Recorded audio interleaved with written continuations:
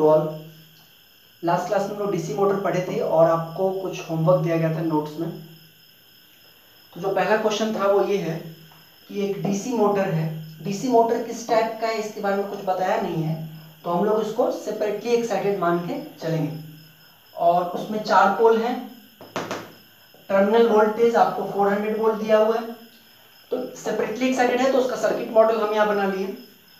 चार पोल है terminal voltage 400 volt है। और आर्मेचर करंट की वैल्यू दिया हुआ है 100 एम्पियर और आर दिया हुआ है 0.15 और हमसे पूछा है ईवी ठीक है? तो ईवी कैसे निकल सकता है? सिंपल इक्वेशन बनेगा ना? B T equal to EB plus I R brush contact का कोई ज़िक्र नहीं। तो E B equal to V T यानी 400 माइनस आई आर यानी 100 इंटू पॉइंट वन फाइव तो 400 माइनस पंद्रह तीन सौ पचासी वोल्ट ठीक है? ये है बैक ईएमएफ इसी में अगर पूछता आपसे मैकेनिकल पावर डेवलप तो क्या करते हैं? ईबी इंटू आई ए कर देते तीन सौ पचासी इंटू हंड्रेड यानी thirteen thirty eight point five kilowatt ठीक है? तो बहुत सिंपल प्रॉब्लम था। नेक्स्ट क्वेश्चन देखते हैं।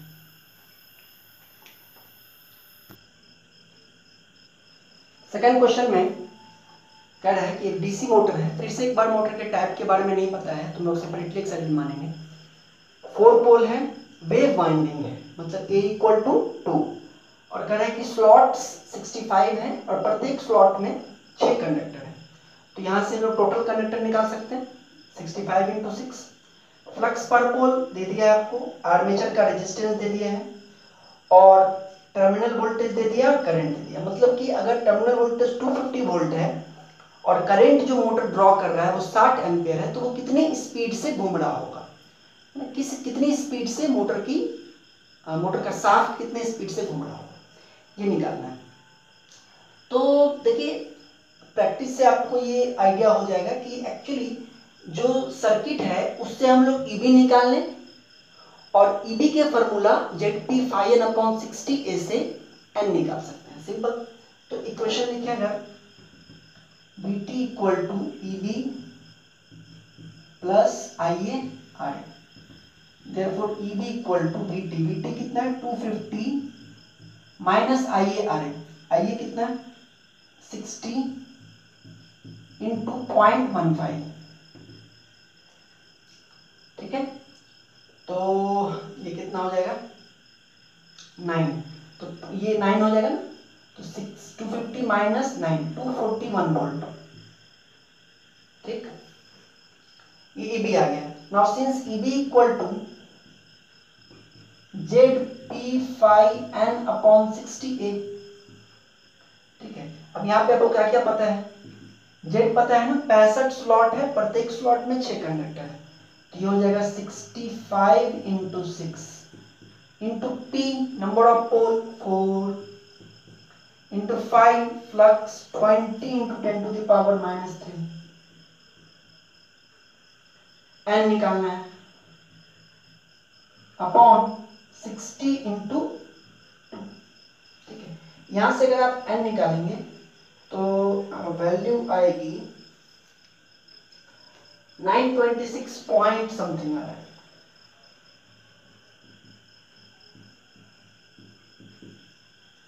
ठीक है? तो इस तरह से क्वेश्चन बन गया आपका।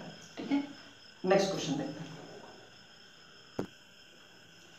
देखिए लास्ट क्वेश्चन जो उसमें है, वो ये है आपका कि six pole DC machine has 300 conductors and each conductor is capable of carrying 80 ampere without excessive temperature rise. तो जो गिवन दिया हुआ है data pole equal to six Z equal to three hundred and each conductor is capable of carrying 80 ampere मतलब प्रत्येक conductor से 80 ampere maximum current जा सकता है। ये जो करंट है ये आई ए नहीं है। आई ए होता है टोटल करंट जो जाता है। प्रत्येक कंडक्टर से मतलब प्रत्येक ब्रांच का करंट है। हम्म, उसको हम लोग आई लिख सकते हैं। I equal to how much eighty M ये सेफ़ लिमिट है। stop. Flux per pole 0.015 weber and machine is driven at 800 rpm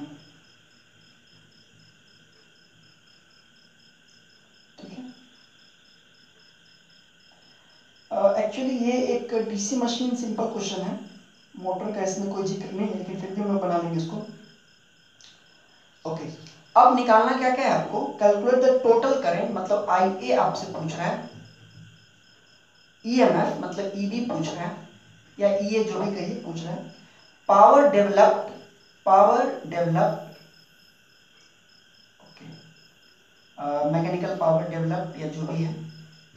Power developed in the armature power developed in the armature मतलब क्या हो गया? ई बी इंटू आई या ई ए into I ठीक है? Power develop in the armature मतलब यही हुआ। एंड इलेक्ट्रोमैग्नेटिक टॉर्क टीईएम ठीक है? Motor electromagnetic torque if the armature conductors are अगर आर्मेचर कंडक्टर ए पार्ट में है वेव बाउंडेड और बी पार्ट में लैप बाउंडेड तो पहले हम लोग वेव बाउंडेड मान करके बनाते हैं। एक बार फिर से मशीन के टाइप का कोई ज़िक्र नहीं है मतलब we will take it as separately excited तो देखिए सब कुछ बहुत सिंपल है। टॉर्क निकालने का एक एक्स्ट्रा है, बाकी तो सब कुछ सही है। तो इसमें ठीक है। जो डाटाज है हमारे पास, उससे हम लोग क्या क्या कर सकते हैं? ठीक है? तो ईबी तो निकाल सकते हैं तुरंत अभी। EB equal to P five N upon sixty तो जेड कितना है आपका? थ्री हंड्रेड इंटू पी कितना है? Six five zero point zero one five Z P five N N कितना है? अठारह सौ. Z P five N upon sixty into eight A कितना है? वेव बाइंडिंग के लिए तो ये वैल्यू आपको आ जाएगी four hundred five four zero five volt. ठीक?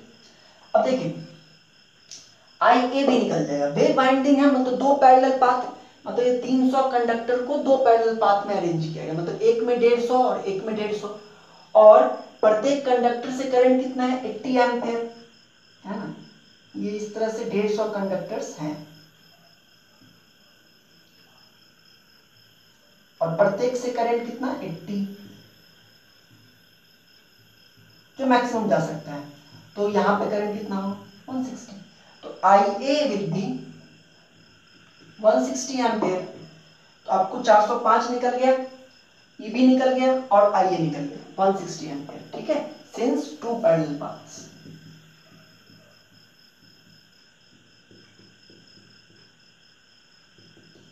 next third बोल रहा है पावर डेवलप्ड इन आर्मेचर मतलब ई बी इंटू आई ए ये कितना हो जाएगा? 405 हंड्रेड फाइव इंटू वन ये हो जाएगा आपको 64,800 वाट मतलब 64.8 किलोवाट ठीक है? और उसके बाद आपसे पूछा है टीईएम ठीक है ना? TEM electromagnetic torque electromagnetic torque निकालने का दो दो तरीका है। या तो आप के ए फाइव आई ए से निकाल लीजिए, या आप ऐसे भी निकाल सकते हैं। E B into I A upon omega M से, क्योंकि T into omega M equal to E B into I A तो अगर इससे निकालेंगे तो इसमें थोड़ा सा एक लफड़ा है, हो जाएगा। ई बी कितना है आपका? ई बी इंटू आई ए तो निकाल ही चुके हैं, चौसठ हज़ार आठ सौ। डिवाइडेड बाय ओमेगा को लिख सकते हैं two pi into N small N और यहाँ पे कैपिटल एन है। तो ये होता है टू पाई एन तो ये जाएगा sixty four thousand eight hundred upon two pi into eighteen hundred by six eighteen hundred by sixty यानी इंटू सिक्सटी ये स्मॉल एन यहाँ लेते हैं। आपको जो एन है कैपिटल एन है। तो उसको स्मॉल एन में करने के लिए डिवाइडेड बाय सिक्सटी करेंगे। तो ये वैल्यू आ जाएगी आपको एक minute sixty four eight zero zero divided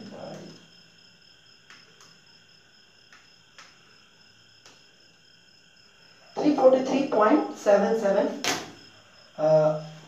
newton metre